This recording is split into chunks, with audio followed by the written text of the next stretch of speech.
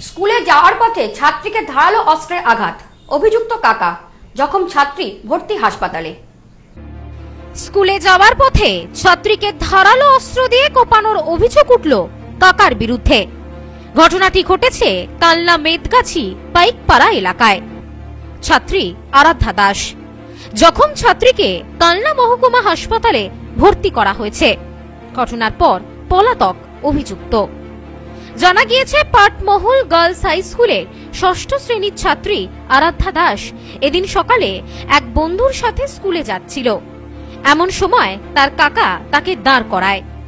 এরপরই হাতে থাকা জমিতে ঘাস কাটার নিড়ানি দিয়ে অতর্কিতে তার ওপর আক্রমণ করে। হাতে মুখে মাথায় বিভিন্ন জায়গায় কোপ দেওয়ার অভিযোগ। হ্যাঁ দিয়ে তারপরে কি হলো? হচ্ছে মেরেছে? হ্যাঁ। তুমি চেনো তাকে? হ্যাঁ। কে হয়? তোমাদের সাথে কি কোনো শত্রুতা ছিল? হ্যাঁ। কি শত্রুতা? সবসময় ঝগড়া করতো আমাদের সাথে।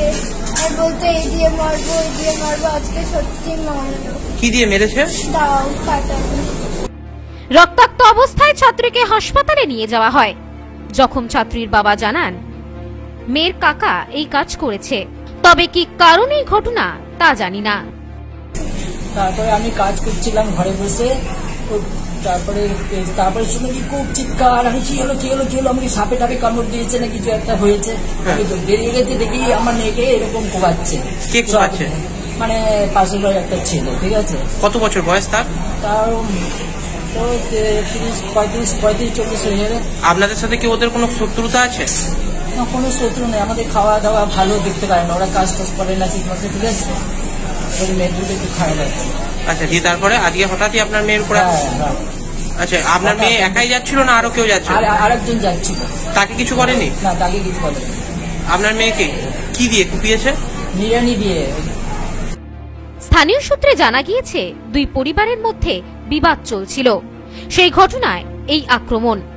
সেই ঘটনায় এই আক্রমণ নাকি এর পেছনে রয়েছে অন্য কোনো কারণ তা খতিয়ে দেখা হচ্ছে।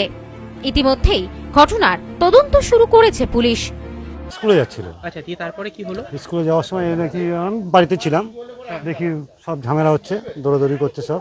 দেখি তার বাইরে এসে দেখি খুব মানে ঝামেলা দেখি তাও নিয়ে বাচ্চাটাকে কোপ দিয়েছে। কে কোপ দিয়েছে? ওর কাকা। নিজের কাকা? নিজের কাকা। আচ্ছা কিন্তু ওর বাড়ির মানে লোকরা বলছে যে প্রতিবেশী তাহলে মানে প্রতিবেশী নয় তাহলে নিজের কাকাই? হ্যাঁ নিজের কাকাই।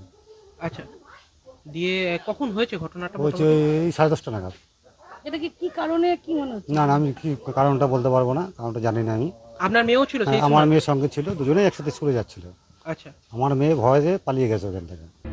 এই ঘটনায় হতবাক হয়ে গিয়েছেন স্থানীয়রাও। ওই ছাত্রীকে বাঁচাতে গিয়ে আঘাত পেয়েছেন স্থানীয় এক মহিলা। মহিলার দাবি ঠেকাতে গিয়েছিলাম বুঝতে পারিনি। পরে দেখি আমারও আঘাত লেগেছে। বেরোয় দেখি ওরা আমি ভাবি যে কুকুরে তারা করেছে পরে দেখি যে ওরকম হচ্ছে আমি ঠেক- আমি ঠেকাতে গেছি। মানে ও ওরকম মারছে ওকে। কাকে মারছে? ওই বাচ্চা মেয়েটাকে। ওই মারছিল? ওর কাকা এ হয়। নিজের কাকা? হ্যাঁ।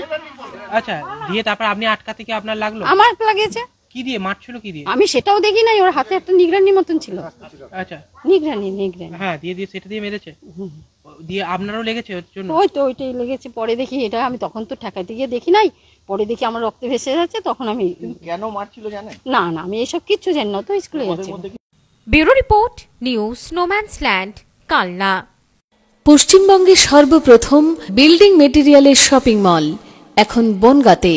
শর্মা গৃহ নির্মাণ। বাড়ি তৈরির সমস্ত মেটেরিয়াল পাবেন একই ছাদের নিচে। আমাদের শোরুমে রয়েছে বিভিন্ন রকমের রড সিমেন্ট। ইট বালি খোয়া বিভিন্ন কোম্পানির বিল্ডিং কেমিক্যালস সিলভার স্যান্ড কিনতে হবে না।